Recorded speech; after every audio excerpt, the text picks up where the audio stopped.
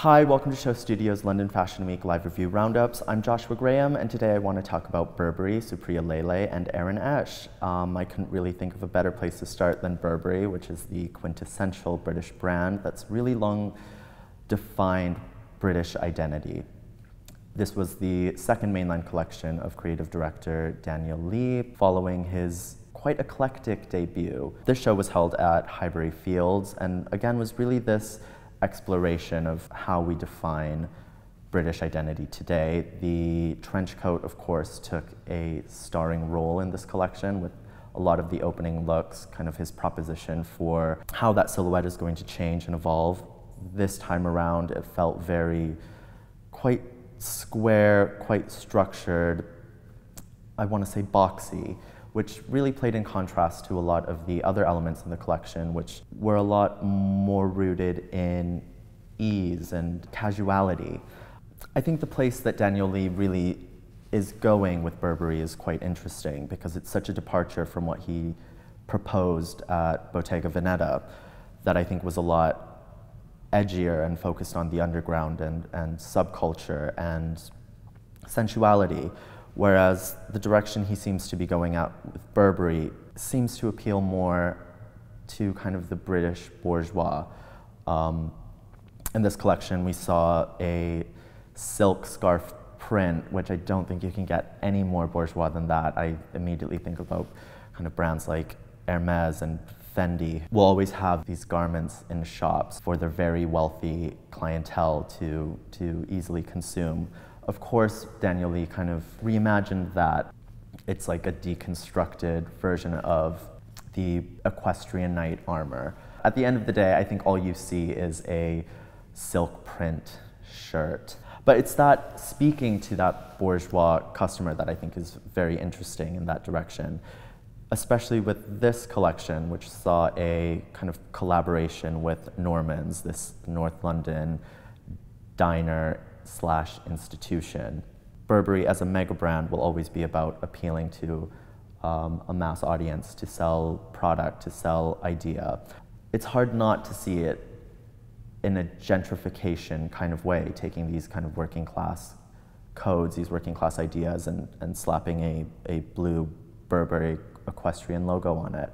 Um, especially with this collection, because I thought the clothes felt conservative. There was, again, this real ease, the silhouettes were kind of these flowing floral print dresses, the trousers were wide leg. How do we define Britishness today? We live in a multicultural society um, that's still very structured by class and race and politics. And I think really my question is, as a mega brand, as a, as a real institution within British fashion, should we be looking at it as a vehicle to push Britishness in a, in a new direction, to push Britishness in a modern direction, or should we be happy with it kind of carving out its lane as, as this really singular idea of, of what it means to be British today?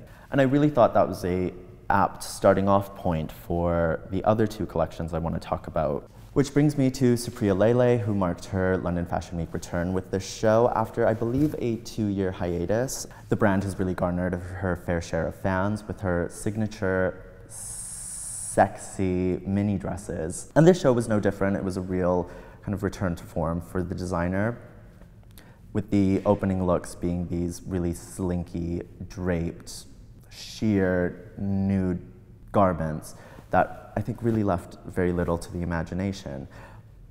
But it was done in such a clean and refined way that there was really nothing gratuitous about how she was celebrating the body, the way the drape across the chest and um, midriff kind of clung to the body. It really accentuated curves and, and created this allure that again, I just, it didn't feel gratuitous in a way. And this celebration of the body is definitely a trend that I've seen in the shows at London this week from, I guess, streetwear designers like Mowalola, who had skimpy, barely there baby tees and mini skirts, to, to more couture evening wear propositions like Michael Stewart at Standing Ground for Fashion East.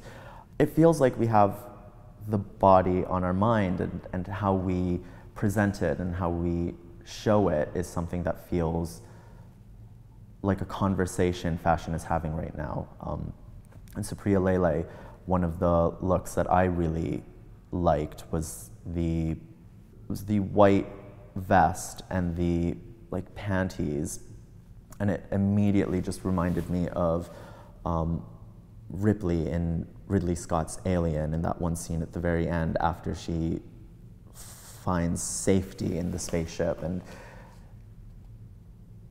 it's that act of kind of it's that ease and that undress that I think is incredibly sexy kind of references the sari. And while there was a real luxuriousness in the simplicity of this collection, I think there was also a real luxurious quality to the introduction of leather. Um, so Supriya Lele teamed up with Bentley this season to create leather jackets and these leather corset bra tops.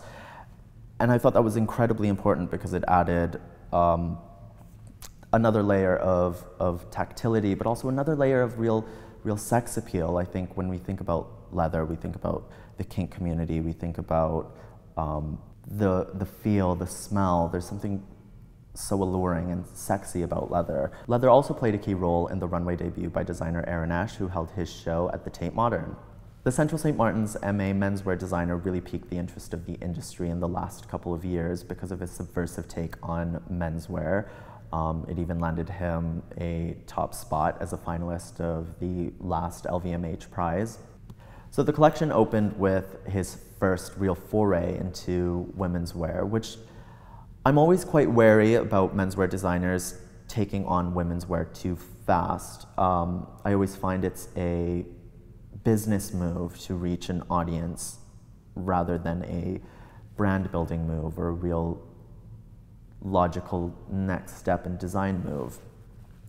But I didn't feel that at all with Aaron Esh. I felt like it was just a natural progression of him and his aesthetic and his refined take on, on modern dress. So the show opened up with this silk, slinky number that, like Supriya Lele, really clung to the body in all the right places. And when it moved, there was a real fluid sensuality to it that I definitely want to see fashion move in that direction. I think we live in a post maximalist world, and as annoying as it is, I think quiet luxury as a trend speaks to the ease we want in fashion. I think the art of dressing up has to be toned down a little. Um, we live in such trend heavy times, whether it's goblin core or ballet core, that when we do see these minimal propositions, these there's something that just feels so incredibly modern about it. And really, what I think what makes Aaron Esh one of the most exciting designers to look at right now is is how he's bridging this world between elegance and refinement and, and tapping into the kind of hedonism and subculture of London. And I think what really makes Aaron Esh one of the most interesting designers today is his ability to take these, these really refined ideas and implement them in a way that's referencing um, street and subculture here in London. There's a real grown-up attitude to the refinement in, in his tailoring but also the irreverence and how he, he styles the pieces is really captivating. And I think it's something that a lot of people in fashion, a lot of people in London are going to relate to. And you see that in how sharp his tailoring is. You see that in, in his attention to detail and how the buttons are covered and how the satin lapels peak in exactly the way they should. Um, and again, this real fluid sensuality in how all these clothes move. And it's really hard not to describe these clothes as, as anything but cool. And I would say that again about Supriya Lele because I think what both designers are doing so well is tapping into these what feel like modern sensibilities of cool, of, of not trying too hard, of, of finding this sexy ease in dressing. Well, that's it for a very sexy London Fashion Week, but make sure to stay tuned because our editor, Hedy Malik, will be reviewing all of the shows in Milan next.